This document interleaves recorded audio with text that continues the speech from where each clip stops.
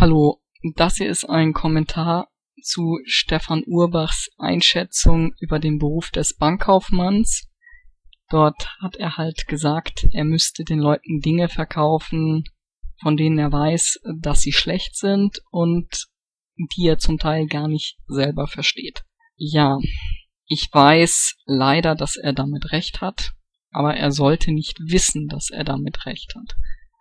Weil das ist eigentlich folgendermaßen. Man hat herausgefunden, wenn der Bankkaufmann nicht, wenn der Bankkaufmann sich unsicher ist, ob er, ob er ein gutes Produkt verkauft oder wenn der Bankkaufmann weiß, dass er ein schlechtes Produkt verkauft, dann ist der Bankkaufmann nicht besonders gut gelaunt, während er das Produkt verkauft und der Kunde kann ihm das quasi ansehen, dass er Zweifel hat, ob dieses Finanzprodukt gut ist. Und wenn der Kunde ihm das ansehen kann, dann kauft der Kunde das Finanzprodukt eher nicht. Und deshalb ist es eigentlich die Aufgabe von Leuten wie zum Beispiel mir, die Wirtschaftsmathematik studiert haben, die mathematisch was drauf haben und die wissen, wie, wie, wie auch ein bisschen Ahnung von Wirtschaft haben, ist es die Aufgabe, ähm, ein Finanzprodukt zu entwerfen, wo eigentlich Müll drinne ist, aber wo die Zahlen und das Statistikmaterial so aufgewertet ist, dass der Bankkaufmann sich das anguckt und sagt, das ist ja mal ein toller Deal. Da würde ich auch äh, einsteigen, das würde ich auch kaufen weil genau diese Einstellung soll der Bankkaufmann haben.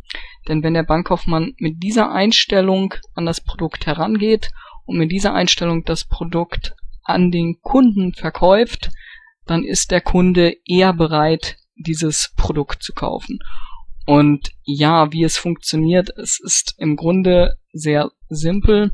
Es ist genauso wie ähm, ja Bilanzfälschung oder wie die Fälschung von Statistiken. Ich meine, wir kennen ja das Sprichwort, glaube keiner Statistik, die du nicht selbst gefälscht hast. Und ja, was macht man da zum Beispiel? Ich möchte ein Beispiel nehmen, das nach Möglichkeit ziemlich einfach zu verstehen ist.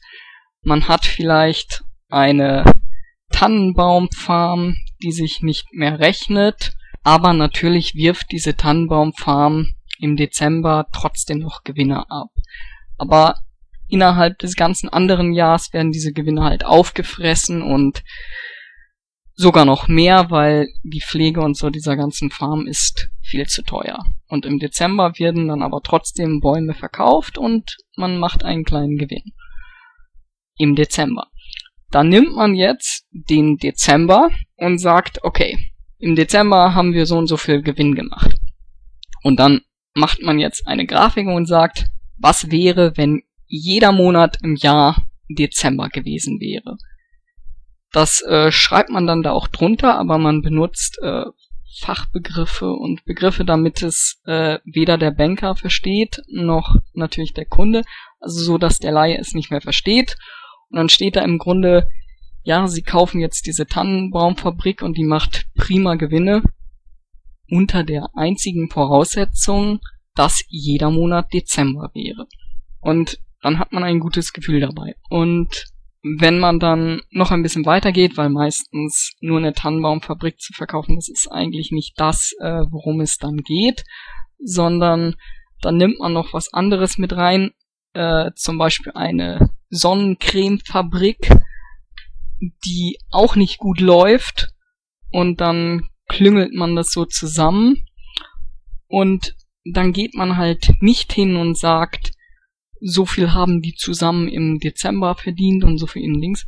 Nein, man guckt, okay, und die Sonnenmilchfabrik hat im Juni so viel verdient und dann äh, addiert man das aufeinander auf und sagt, wenn für die Sonnenmilchfabrik jeden Monat Juli wäre, wenn angenommen Juli ist jetzt der beste Monat, und wenn für die Tannenbaumfabrik jeder Monat Dezember wäre, dann hätten wir zusammen einen Gewinn im Jahr von und äh, das schreibt man dem Banker dann auf auf einen Zettel.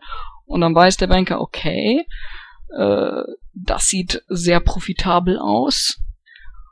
Das kann ich guten Gewissens an meinen Kunden verkaufen. Und genau das soll der Banker denken. Und mit dieser Einstellung verkauft es sich einfach leicht an den Kunden.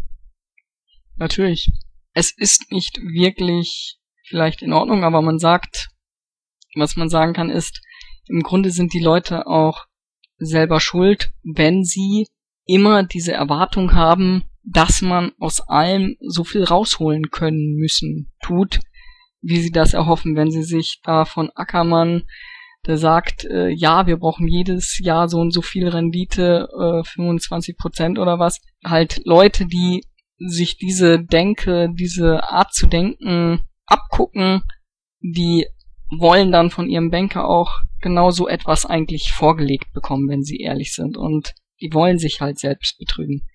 Der Ackermann kann diese Renditen erwirtschaften, weil er halt diese, diese kaputten Unternehmen vorher aufkauft, dann äh, von Mathematikern in solche Papiere zusammenfassen lässt und dann weiter an die Kunden verkauft zu einem höheren Preis, zu einem Preis, der scheinbar, wenn man diese Rendite sieht, die dort im Dezember gemacht wird, ja durchaus ähm, ja legitim ist unter diesem Preis kann er es dann verkaufen und natürlich ist da dann eine Riesendifferenz. Er bekommt das ja fast hinterhergeschmissen, weil es nicht richtig läuft, das Unternehmen. Und er macht dann eigentlich nichts anderes, als die Unternehmen alle zusammenzuschmeißen und auf dem Papier irgendwie das so umzuverändern, dass das alles ein bisschen schöner aussieht.